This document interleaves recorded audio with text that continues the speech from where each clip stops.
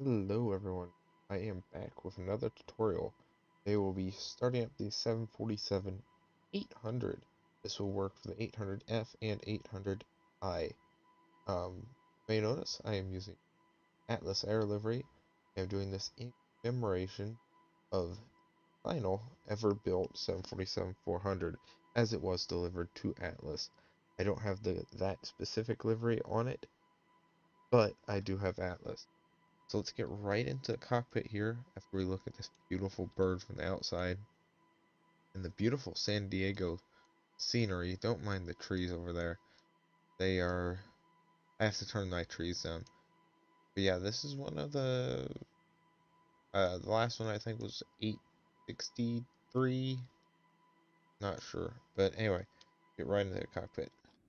First thing you want to do is go over here, ground power unit on, then overhead panel, go external, external, battery, utility, and standby and start your APU.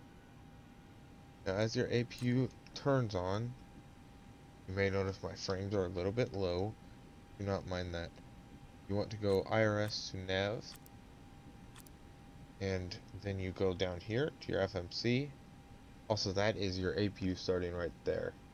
As you go to your FMC, let's move the speed brake, speed brake, speed brake back. It'll be four on your keyboard, keyboard, or if you have another keybind. Um, you will go to POS initialization, and we are at San Diego today. So Kilo Sierra, don't know why I butchered that. Alpha November. Then reference airport and copy and paste. Copy that by just clicking on it. Then route, we're gonna do. Uh, let's go uh, well, don't worry about your route, but let's say we're going to Phoenix, okay, PHX, um, and we need GTI 369, because Giants is Atlas. Anyway, and then activate. Execute. I know I did something wrong there probably, but probably not. Anyway, now your APU should be on. It should automatically switch. Yes, it did. So now you can go all your fuel tanks on. At least that's what I do with crossfeed. Just like that. You go over here, GPU gone. Now one cool feature about the 747-800 you can start multiple engines at once. So let's say I I can start uh, 1 and 4 or 2 and 3 at the same time with packs on. So let's turn on our APU here. We're gonna leave packs off. Actually, let's do packs on. Packs reset. And now, let's say, okay, we want to start number 4. I always do 4, 1, 2, and 3. I always do 2 and 3 at once. You pull this out, and that starts spinning your number 4. You go over here, and you can watch it come up. Once it gets to 25, you want to bring this all the way up. Oh, mouse wheel. There. Beautiful GENXs. Love it. I love the sound of these engines. Anyway, number four is alive. Do you want to go here. We'll start number one. One is coming alive. And you can do single engine taxi in the 747 uh, I believe 400 and 800. I believe the uh, 400 was certified for it.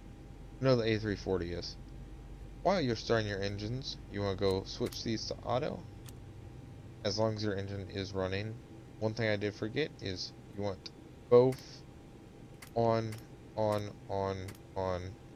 You don't worry about this unless it's nighttime. Even then, I don't use it. Oops. Oh wait, no, that's testing. Never mind, I'm thinking of internal lights. Yes, be quiet. Anyway, now you can start 2 and 3. As I said, you can do them at the same time. And IRS is going to be done in 5 minutes. That is the counter for IRS. Yes, it's LCR, left, center, right.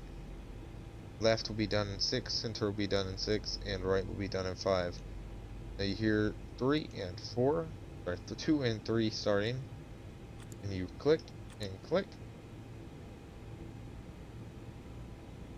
Nice.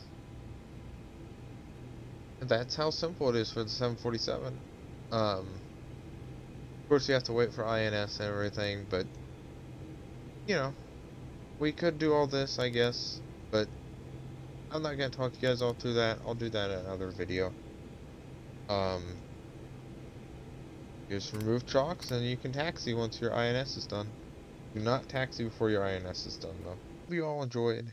Um, thank you all for stopping by. Well, thank you all for enjoying my content. I hope this all helps you guys out. And, uh, yeah. See you guys in the next video. I will cut that loud part out.